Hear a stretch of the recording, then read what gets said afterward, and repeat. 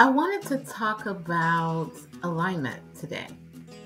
I'm Tanya Wilson, Master Life and Business Coach, also known as the Growth Strategist.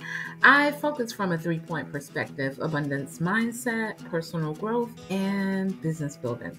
I believe that all three of those things, when they are in alignment, ironically, we're talking about alignment, I think that they become a superpower when you are tapped into an abundant mindset, when you are consistently up leveling in the space of your personal growth, and when your business building skills are in alignment for where you desire to go, I just simply feel they're the perfect three.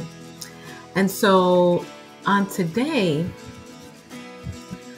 I want to come to you from the space of abundance and abundant thinking. And starting from a space of alignment. So, oftentimes when I'm working with my private clients, I share many of the details that are happening with me in my business behind the scene. And a recent client asked me about um, an income goal that I was going for, like a monthly sales goal. And I had been getting $5,000 sales consistently, paid in full.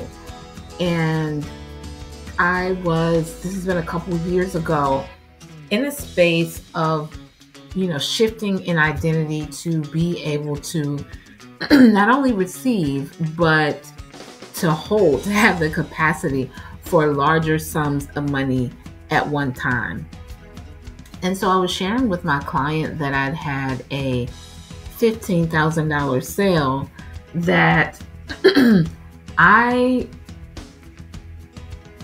I felt unsure about from the beginning, not about me being able to do the work with the client, the work that they were coming to do, but my thoughts and my thinking around the money that was coming in. And one of the things that happened for me with that first $15,000 sale that I ever had was I did not honor myself. And what I mean by that is there comes a space where you're wanting to up level your business and your life.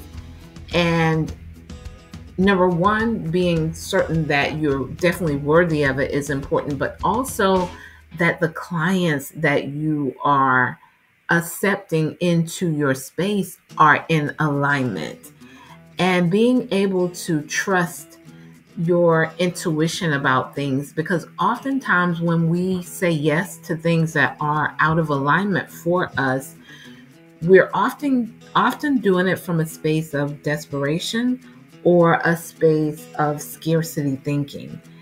And all that eventually leads to is some form of sabotage or you know those would be the clients that are the hardest to actually provide services for or something going wrong where you find that you no longer even want to work with the client to the point where you're just willing to give them the money back. Just so many different things happen when we aren't in full alignment with what we're wanting to call into our life. And I'm sure as you're listening to this, you can think back to an incident with a client, a customer, a vendor, someone where it was a really great opportunity, but in word, thought, and action, there wasn't complete alignment for you. Whatever it may have been, whether you were having thoughts of doubt or uncertainty, worthiness, whatever they may have been, but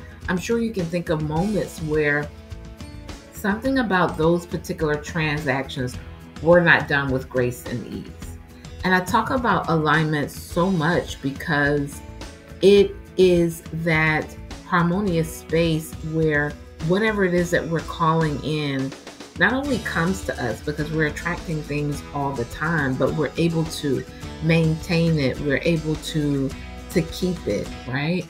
And so this is probably the most central part that I want to share on today as it relates to alignment.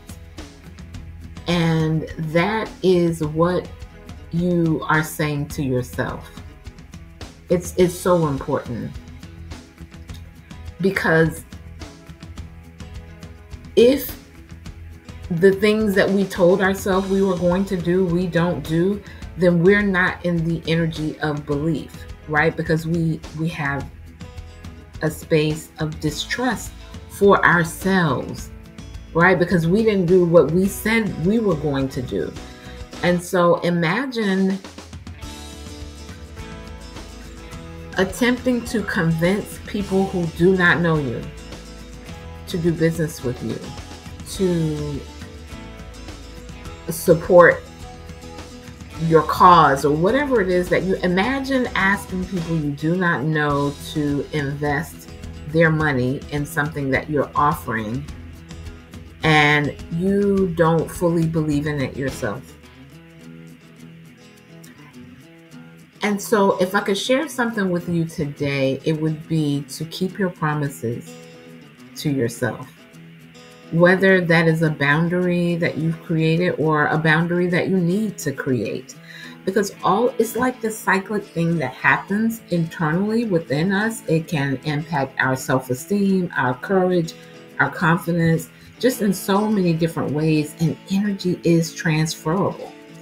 And just the expectation for others to believe in something we don't believe in ourselves. Even as we're hearing this, even as you're hearing this, you know that something is out of alignment. And so I want you to come from the space of number one, trusting yourself, even if it means that I always believe in simplifying your your business and your life because you can find a space of harmony when you're not accountable for so many things and dropping balls and, and all the things, right? But I find that as you begin to simplify, your level of mastery and detail and attention to fewer things becomes more prominent and your impact is even greater. But even more so, your ability to trust yourself because what you said you were going to do, you did it. And that is a space of alignment that you can set your intentions for, even over this next week, right? To do what you said you were going to do to yourself. No one else had to hear the conversation. It can be the smallest thing make your bed, um, for me today, one of them was to record this by three o'clock. Just the, it may seem small, but you begin to create a level of certainty, and that energy begins to transfer into the atmosphere, and it begins to be a space of attraction for people who are serious and people who want more and who are vibrating on that same frequency and that same level because it is all frequency, it is all energy. And we can do so many things publicly. But if our alignment is off, like the internal things, the internal thoughts, the the fullness of what we're doing, if it is off, as within, so without. As it relates to ways that I can support you, if you're hearing ways that you need to be supported as you're listening in, our Queen Behavior Masterclass is transpiring a few days from now. And I also have private ways that I can support you through power hours, identity shift set, shifting sessions, um, 3D Success Academy.